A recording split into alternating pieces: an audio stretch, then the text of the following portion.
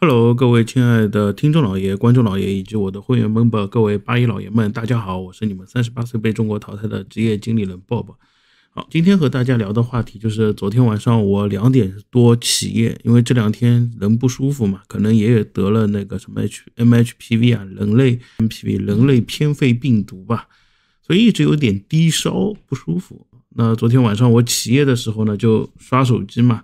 突然间就看到了这条令人震惊的消息：习近平总书记签署了十月二十四号签署了第十四号主席令。第十四号主席令说呢，根据中华人民共和国第十四届人民代表大会常务委员会第六次会议于二零二三年十月二十四日的决定，也就昨天的决定，免去李尚福的国务委员、国务国防部部长职务，免去秦刚的国务委员职务。这两个都是大家。都知道各种听床党、中南海听床师们躲在习主席、习皇帝的床下面听了半天，已经快说了三个多月了吧？对，然后下去下面的第三个是免去王志刚的科学技术部部长职务，任命殷和俊为科学技术部部长，以及免去刘昆的财政部部长职务，任命蓝佛安为财政部部长。这两个就非常的奇怪，而且我基本上搜索了一下，目前没有人在说这两个人的免去职务的原因和这两个人主要做的工作。对，那其实我对刘坤也不是特别了解，因为财政部这边的事情我说的也不特别专业。像前两这两天嘛，那我说中国 A 股可能要跌破两千九百点，结果昨天 A 股大涨百分之零点多少，零点八几，A 股指数今天开盘呢可能又是上涨的，所以我的脸已经被摁在地上打青打肿了。那关于王志刚呢，我这边做了一点 research，因为毕竟是科学技术部的嘛，我比较感兴趣一点这个人，所以做了一点 research，是看到了一一些资料，就像我标题中所写的，可能涉及到的原因是因为潘量子这个骗子，所谓的量子通讯，潘量子以及花了很多很多的钱去搞量子的这一整套系统，结果现在呢，可能也不是可能，现在就是被认为这这是不靠谱了。那相应的还有一个人就是马伟明。马伟明，中国万磁王马伟明，马伟明嘛，三天两头不是搞他的电磁弹射嘛？一天到晚搞他的电磁弹射、电磁炮技术。这是电磁炮，我已经说过了，在大气层里面这玩意也不大现实。电磁弹射呢，美国举举举国之力搞了这么久，其实搞得还不是特别利索。能能不能实战？能，但是好用不好用呢？其实费效比不是特别好啊。所以呢，就是电磁弹射这个技术呢，可能中国这边更更加搞得不怎么样。所以，零零三号航空母舰从说下水到现在，你没看到它，没有看到快它正儿八经的用电磁弹射轨道去弹射飞机的视频，大大规模机队弹射没有。老美那边可是正儿八经的有很多视频出来了，是吧？所以总体来说的话，可能是因为这个原因导致这个王志刚的科学技术部部长职务被撸掉了。啊，那我们先说一下，第一个就是第十三号令，《中华人民共和国主席令》的第十三号令，也就是说，《中华人民共和国爱国主义教育法》已经被正式通过了啊，所以在国内的各位呢，就基本上准备好文革的洗礼和风暴，要狠狠的吹向各位了。那现在能出来的就出来吧。今天还看到我的那个 Telegram 的群里面有人在说说关于来澳大利亚修汽车，我说这修汽车其实不难的，你你去读个 TAFE，你不要一来就修汽车走打黑工，你想好好弄的话，对吧？不是赚快钱，你就好好去读个 TAFE，TAFE 读完了之后呢，你修汽车肯定没有问题的，申请一个雇主担保也不难的，啊，去搞一个 TAFE 去。接下来就是中华人民共和国主席令第十四号。第十四号就是免去李尚福、秦刚、王志刚任王志刚、刘坤这些人的职务。那好，我说的关于王志刚这个人呢，我自己也不确实不在这个科研圈里面，所以我做了一些 research，里面有一个是来自于知乎的，知乎里面有个人叫李子峰，燕山大学的，他呢是石油与天然气工程学科二级研究员、理论物理学家，所以这水平呢，理论上来说应该跟曾博伯伯是在一个档次上面的。对，可但是伯伯呢读的是美国，美国就或者 QS 排名应该是在 top 二十以内的学校，对吧？那这个呢，燕山大学我确实不了解，我也不敢说。但是这个人的性格也跟曾博很像，对吧？竟然敢喷，对吧？国之国家之重器。说人民网呢就转载了科技日报的报道，聚焦量子科技和核聚变，理清基础研究发展的重点支持方向。里面就说到说量子。潘建伟说，量子计算仍在探索中，没有没有说成功。第二点呢，就是对此王志刚逐一回应，他希望科学家围绕量子通信、量子计算、量子精密测量等方向梳理出量子科技相关领域发展的技术路径，进而形成可操作的方案。啊，这个东西呢，就根据这位李李子峰的评价，就等于目前没有可操作的实际行动方案。然后他说，人民网这次报道等于承认了潘建伟和王志刚的说法，关于量子还没有可操作的方案，更没有成功。经说有人为的在摸索，等于这十年来铺天盖地的报道史无前例的成功，都是忽悠、欺骗和造假。那大家骗钱嘛？大家真的也知道，大家骗骗钱啊。呃，潘量子这老鳖也骗了不少钱，所以我就很担心 马马伟明忽悠忽悠着忽悠着举。大国重器零零三号航母上的可是电磁轨道啊！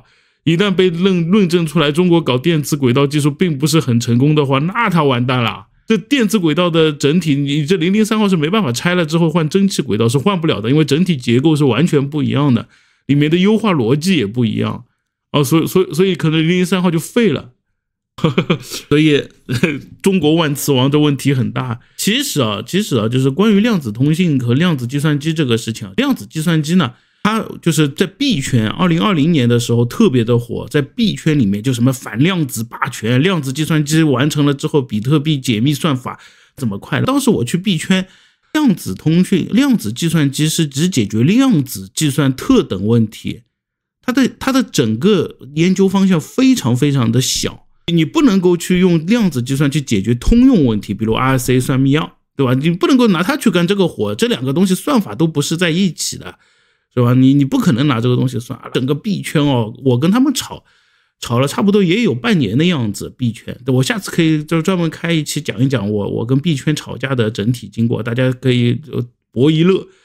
哦，币圈呢不信，对吧？后来后来伴随着伯伯也好，还有一些北美 IBM 的人，正儿八经是搞量子科技的，也跟他们说了，说量子计算机要去搞通用计算问题，它的性能下降是非常非常严重的，甚至还有针对量子计算机搞通用算法的优化的解决方案。啊，但是呢，这个东西和 X 八六或者说专用芯专用芯片去做，完全不是一个等级上的东西。所以没有什么好处，但是在中国确实是这一块吹的特别牛逼，所以大家都往这一块方面吹。当然币圈币圈只管吹就行了，他管你懂不懂科技啊。所以呢，币圈的人就说你们这些人落后，对吧？对 IBM 的人说你们这些人都是落后的蠢货啊！我们币圈去中心化啊，马上就要超越了，我们现在要夺回量子霸权，对吧？怎么怎么，反正没什么脑子嘛。这帮这波人的智商也就只配割嘛。但是他们确实赚，有很多人赚到钱啊，尤其是割的人赚到钱啊。所以这个量子量子通讯也是一样的问题，量子计算的问题是这个，它只能够解决特定问题，而且这特定问题吧还不解决通用问题。然后第二个是量子通信，量子通信这东西吧，其实它就是一个加密算法，所谓的什么包括包括量子位的偏移来看加密算法之类的，说到底它和今天传统的 RSA 加密、大对数加密是没有两样的。这玩意出来的时候，我在知乎上面还那个号还在的时候，就和他们论战了好几个天。论战到最后也是呀，小粉红们投诉我，把我投诉的账号那个没了嘛。粉红就这点本事，没什么操性，没什么出息，是吧？就就就这么干法。所以量子通信这东西，其实在第二年的时候，它出来的第二年的时候，就已经被我们那个当时的军事论坛里面几个搞通讯研究的人，包括搞那个加密的人，都已经在说了，这东西其实不靠谱啊，它其实就是一个加密算法。我说了也不算，对吧？毕竟我也不是搞那个量子科技的。你你让曾博过来，曾博可能吹就是喷的比我好。那我只能还是引用这位李子峰燕商大学的人的话说，就是量子通信呢，现在的所谓京沪干线处于趴窝状态，和量子计算机不会算一加一等于二是一样的。关于量子通信呢，用的不是量子，仅能在实验室两点之间的空间内传递编码，现在还无法做。那肯定的嘛。你你这你这量子如果按照完全的量子态，就是我看你一眼你就是一，对面就是零，你我看你一眼这里是零，对面就是一，那怎么中继嘛？中继不了，你一中继的话，所有东西变成一致性了，对吧？那我你只要变成一致性，我就立刻有办法偷嘛，而且没那么神乎。关于量子计算机只能做光子与量子定义不一样的采样，与沙子采样相同，没有逻辑和计算功能啊，是的，是这样子的，它就是去相当于说美国。随机算法嘛，我们都知道世界上没有真的随机算法，那怎么办呢？美国有一个海军的项目，它去监测声音，在监测风的时候呢，把声音直接做哈希处理了，变成随就是变成随机数，提供给全世界用。啊，这也是一种随机算法。所以它量子的随机算法跟这个也一样，它只是去观察量子的状态，然后得到一个随机的叫随机数，仅此而已啊。所以三关于单光单单光子源没有真正的单光子源或性能不稳定啊，这两个也是。你让我你让曾博来喷的话，他可以把第三点给你喷出花来啊。反正就是说，第一单光子源是没有的，因为你没办法一次性只发射一颗光子，你必须让它做点什么才能够发射出一颗光子。但是你一旦监测到这一颗光子的时候，你也不是作为旁观者确定了这颗光子嘛，这没办法去做这个事情。所以他他也说了，原因量子的定义不可再分的粒子或能量与毛泽东思想物质无限可分相冲突了。这人也坏啊。原子的本意就是不可再分的粒子，但伴随着技术的进步，可分了。量子的定义犯了与原子定义相同的错误，量子不存在，是吧？是吧？你你不能跟跟中华人民共和国伟大主席有冲突。就像今天，啊，就就前两天说科大讯飞股票狂跌，是因为科大讯飞里面有一篇文章说毛毛泽东心眼小，人人小气，心眼小，说他的爱子毛岸英牺牲在了朝鲜之后发火生气，打压彭德怀。